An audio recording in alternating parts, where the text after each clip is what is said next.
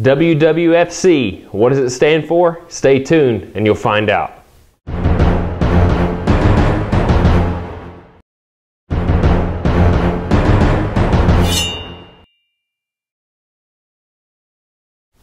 Hey guys, welcome back to another edition of Rock-n H Woodshop. Now I know we were gonna finish working on the table saw cabinet, but something in my heartstrings was pulling at me saying that I needed to work on this Woodworkers Fighting Cancer art easel. That is what we are gonna focus on this week. This particular easel in my design features half lap joinery, half blind dovetails, and sliding dovetails. This is an all around woodworking project that you can practice and master the different ki uh, kinds of joinery. So I'm going to take you through the process right now. Well, my particular easel is a little different from both Mere Mortals as well as the Wood Whisperer. I put a whiteboard tray because uh, it's easier to see things on a white background instead of a dark one. Uh, so if you have crayons or, or, whatever that's lurking around here, uh, you'll be able to find it. Uh, it features a chalkboard, a little dusty right now, but um, and then the other side is a white erase board.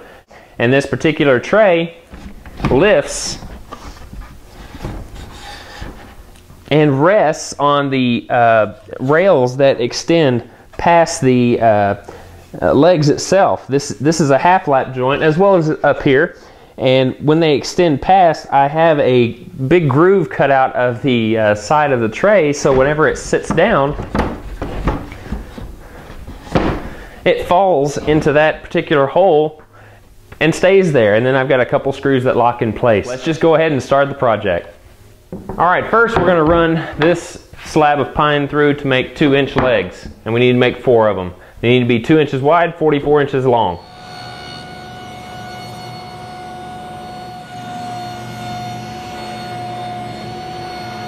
Okay, now we gotta cut the rails that are gonna go on the top and bottom.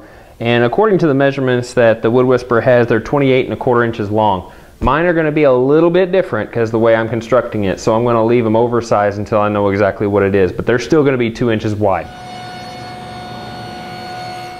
Now we need to cut the sides for the tray that's actually going to hold the markers or whatever else that they're going to use. And they're going to be three inches wide according to the design. Now the tray fronts and the backs of each tray are going to be cut. They're also three inches wide. My rails I left a little bit long so I can make sure that I had enough. What I'm going to do is at the top and the middle where they join with the legs I'm going to make a half lap. But I want there to be overhang because I'm going to kind of uh, put a chamfer on all the edges of that end grain.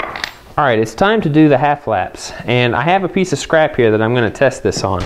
So what I'm going to do is make a half lap that is the exact width of the same piece, the adjacent piece. So if this was the leg, it's going to intersect the rail and it's the same width as the rail itself.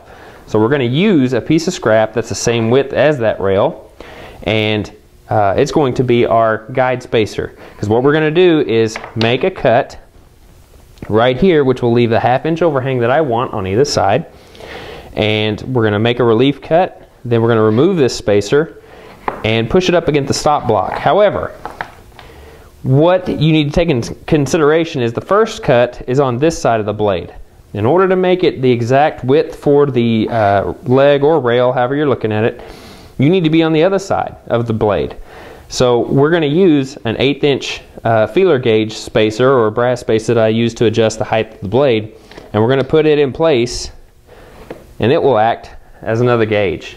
This will push that line over to this side of the blade and it will be a perfect fit for this piece. We're going to test it on a piece of scrap and see how we do.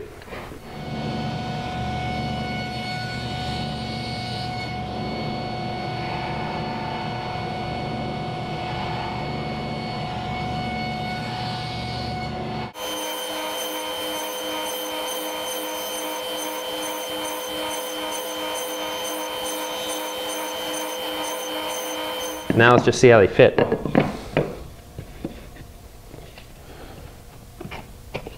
Right, I believe we have it. Just a little bit of fine-tuned sanding in the joint will make it nice and flush and then final sanding after that will make it even better. Okay, we're about to uh, cut the chamfers that are going to go on the ends of the rails and the top of the legs. Um, now the rails that are on the bottom are going to get a chamfer because they're going to get covered up and I'll show you how later. Uh, but we're going to go ahead and use our starter pin here on the router with a 45 degree chamfer bit and ball bearing and then just run it over the end grain and uh, put a slight chamfer on this. Now it's just time for a little bit of assembly.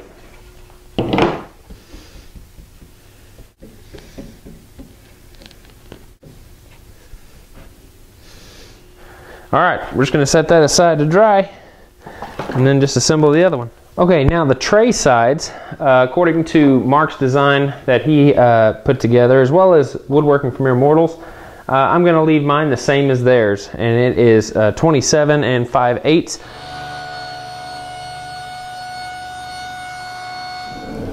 Now we're gonna do the fronts and the backs of each tray. We're gonna have to square off the ends and just make sure that uh, we don't get any nasty knots on the, on the ends simply because we're going to dovetail half blinds in the front and then do sliding dovetails in the back instead of a dado.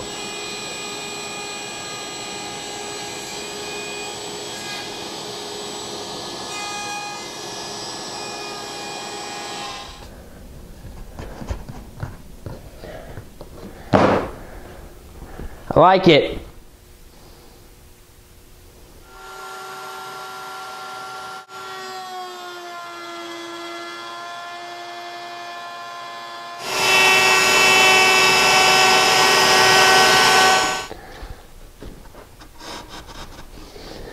Now we're just going to take a uh, 3 8 inch rabbeting bit and go over the insides of those easels to make room for the blackboard and whiteboard.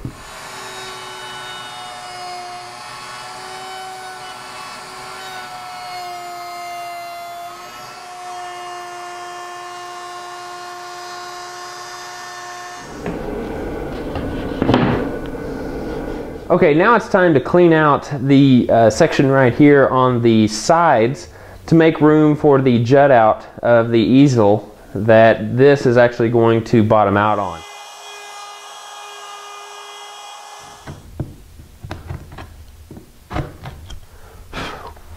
Now I just got to put it all together.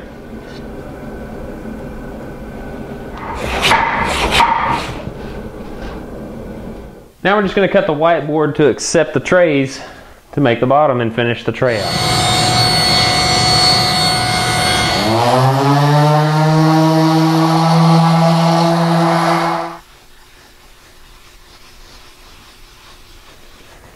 Well guys, I went ahead and installed the whiteboard trays and just pinned them in place with pin nails. I also installed the chalkboard and the dry erase and put some uh, butt hinges up here at the top.